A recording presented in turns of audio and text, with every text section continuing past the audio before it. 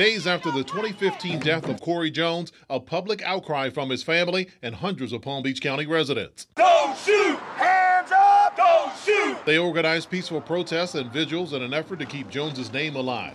They brought signs and banners to spread their message. At the same time, calling for justice against the police officer who shot Jones. Officer Raja needs to be fired. He needs to be fired because he broke all procedures and policy. I'm standing up for what I believe in.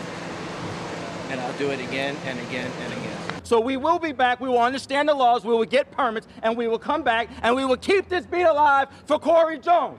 They also called for sweeping changes in the Palm Beach Gardens Police Department. We want transparency, and we also want to know that when the cameras are off, that the officers are being responsible for their conduct. The department now has every officer wearing body cameras, something Jones's relatives say they wish had been in place before the shooting. If my brother would have had a body camera, maybe it would have, you know, I mean, solved the case already. Ted White, WPBF 25 News.